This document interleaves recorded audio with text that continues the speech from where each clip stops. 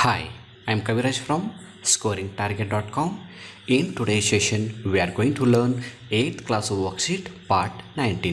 ಆತ್ಮೀಯ ವಿದ್ಯಾರ್ಥಿಗಳೇ ಇವತ್ತಿನ ತರಗತಿಯಲ್ಲಿ ನಾವು ಎಂಟನೇ ತರಗತಿಯ ಅಭ್ಯಾಸ ಹಾಳೆಗಳನ್ನು ಸಾಲ್ವ್ ಮಾಡ್ತಾ ಇದ್ವಿ ಇವತ್ತಿನ ಒಂದು ಕ್ಲಾಸಲ್ಲಿ ನಾವು ಆ, ಕಲಿತಕ್ಕಂಥ ಚಟುವಟಿಕೆಗಳು ಯಾವುದು ಅಂತ ನಾವು ಒಂದು ಬಾರಿ ನೋಡೋಣ ಇಲ್ಲಿ ನಾವು ಆ್ಯಕ್ಟಿವಿಟಿ ಫೈವನ್ನು ಕಲಿತಾ ಇದ್ವಿ ಆ್ಯಕ್ಟಿವಿಟಿ ಫೈ ಜೊತೆಗೆ ಆ್ಯಕ್ಟಿವಿಟಿ ಸಿಕ್ಸ್ ಮತ್ತು ಸೆವೆನ್ಗಳನ್ನು ಸಾಲ್ವ್ ಮಾಡೋಣ.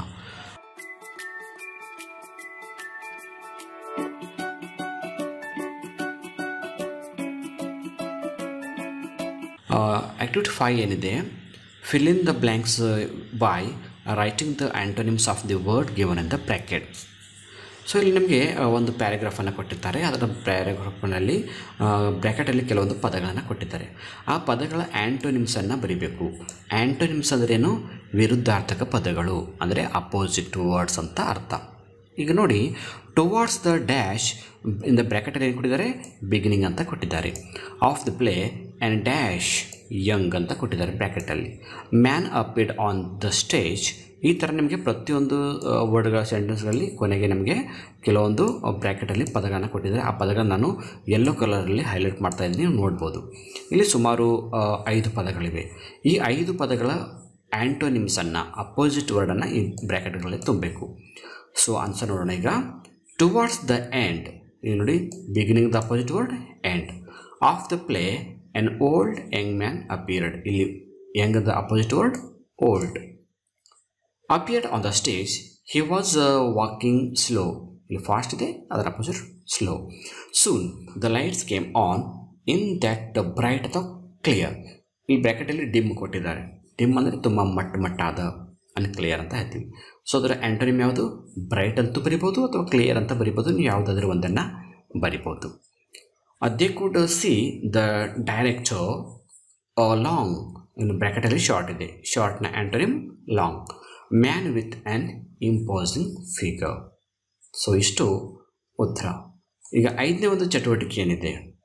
Fill in the blanks by writing the antonym of the underline word ಇಲ್ಲಿ ಪ್ರತಿಯೊಂದು ಸೆಂಟೆನ್ಸಲ್ಲಿ ಕೆಲವೊಂದು ಪದಗಳಿಗೆ ಅಂಡರ್ಲೈನ್ ಮಾಡಿರ್ತಾರೆ. ಆ ಅಂಡರ್ಲೈನ್ ಮಾಡಿದಂಥ ಪದದ ಆ್ಯಂಟೋನಿಮ್ಸನ್ನು ಅಪೋಸಿಟ್ ವರ್ಡನ್ನು ಇಲ್ಲಿ ಕೊಟ್ಟಂಥ ಬ್ರ್ಯಾಕೆಟಲ್ಲಿ ತುಂಬಬೇಕು. ಮೊದಲನೇದು ನೋಡಿ ವಿ ಶುಡ್ ನೈದರ್ ಬಾರೋ ನಾರ್ ಡ್ಯಾಶ್ ಅಂತಿದೆ. ಸೊ ಬಾರೋ ಅಥವಾ ಅದರ ಅಪೋಸಿಟ್ ವರ್ಡ್ ಯಾವುದು? ಲ್ಯಾಂಡ್ ಬಾರೋ ಅಂದರೆ ಕೈಗಡ ತೊಳೋದು ಅಂತ. Krishna was a rich king while his friend was a dash man so ರಿಚ್ದು antonym ಯಾವುದು?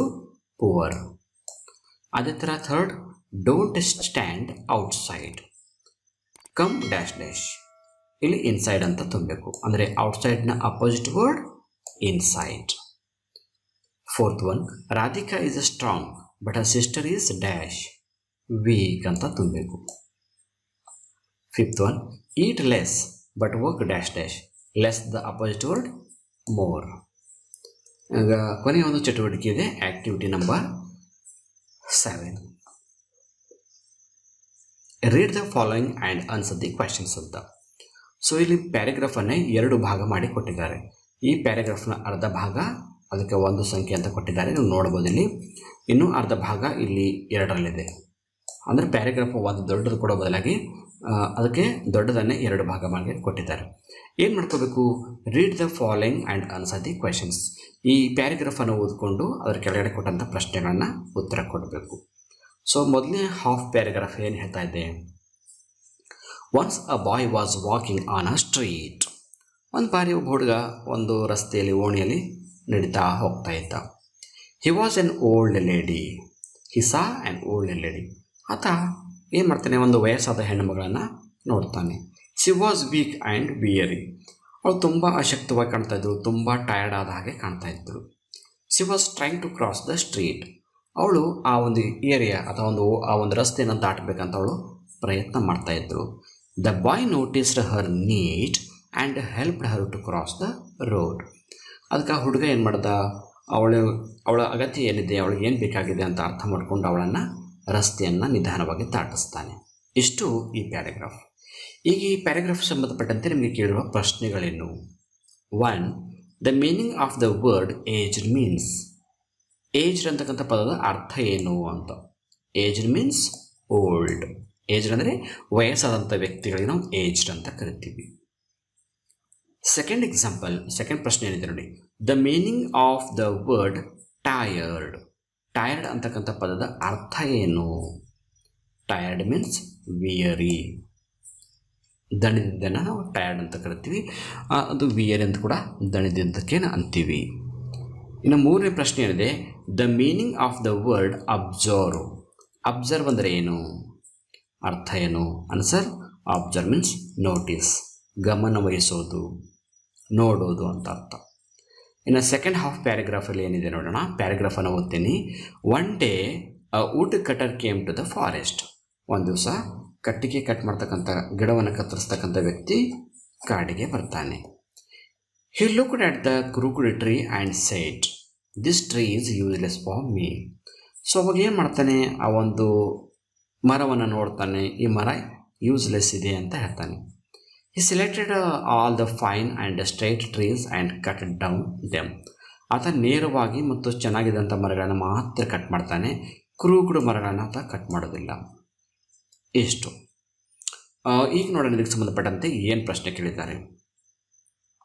ಮೊದಲನೇ ಪ್ಯಾರಾಗ್ರಾಫಲ್ಲೇ ನೋಡ್ಕೊಂಡಿವಿ. ನಾವು ಒಂದನೇ ಭಾಗದಲ್ಲಿ ಇಲ್ಲಿ ಮೂರು ಪ್ರಶ್ನೆಗಳು ವರ್ಡ್ ಮೀನಿಂಗ್ ಇದ್ದವು ವರ್ಡ್ ಮೀನಿಂಗ್ ಅಂದರೆ ಸಿನೋನಿಮ್ಸ್ ಅಂತ ನಾವು ಅರ್ಥ ಮಾಡ್ಕೊತೀವಿ.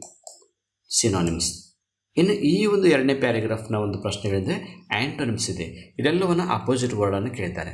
ಮೊದಲ ಮೂರು ಪ್ರಶ್ನೆಗಳು ವರ್ಡ್ ಮೀನಿಂಗ್ ಎರಡನೆಯ ಮೂರು ಪ್ರಶ್ನೆಗಳು ಅಪೋಸಿಟ್ ವರ್ಡ್ ಈ ಪ್ರಶ್ನೆ ಏನಿದೆ? The opposite word of the day is dash ಈ ಡೇ ಅಂತಕ್ಕಂಥ ಪದದ ಅಪೋಸಿಟ್ ವರ್ಡ್ ಯಾವುದು? Day night the opposite word of down is down the opposite word ಯಾವುದು? Up up and down see the opposite word of straight ಸ್ಟ್ರೈಟ್ನ opposite word ಯಾವುದು?